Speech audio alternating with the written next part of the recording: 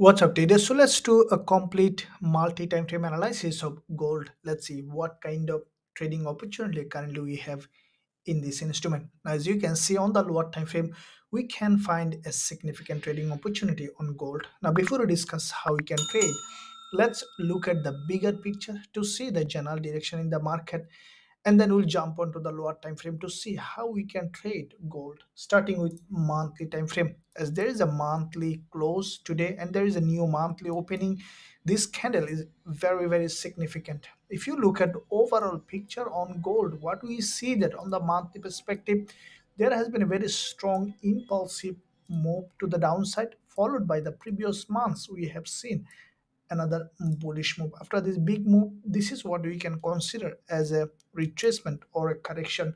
So if we place our fibonacci for this impulsive move what we see that gold currently is retracing around 38.2% fibonacci level. And from that zone we have seen a primarily bounce to the downside. As soon as market opened today we have seen that gold started to go up. So what you could potentially see there are two possible scenario.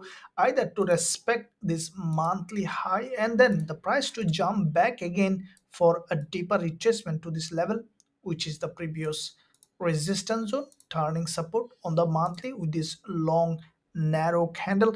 There is another possibility for gold. As you can see today the market open without any wick at the bottom it is possible for gold to be strongly bullish again to continue to go up as we have seen a very strong rejection from here on the monthly. And this monthly candle if you closely look at at the bottom it has a liquidity gap so when you see a candle like that with a strong liquidity gap you can expect the price to have another one to the upside.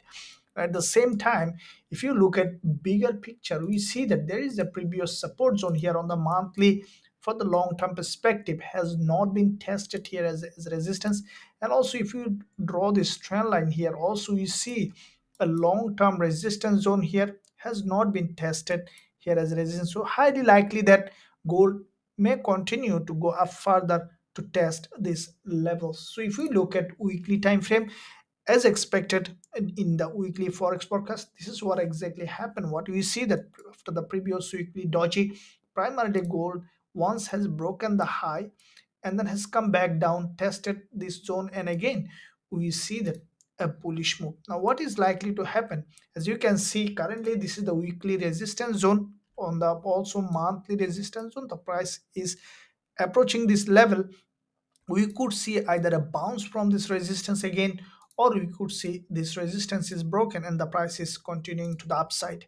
So to see which way the market will be heading. Let's look at the daily time frame to see in fact how the price action has formed.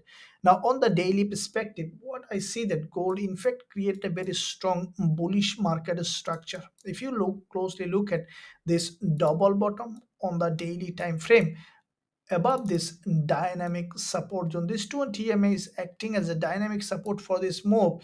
And we see a double bottom with a liquidity gap in this zone. This daily candle is a middleman where it has grabbed a strong liquidity on the gold from this wickless candle on the daily perspective.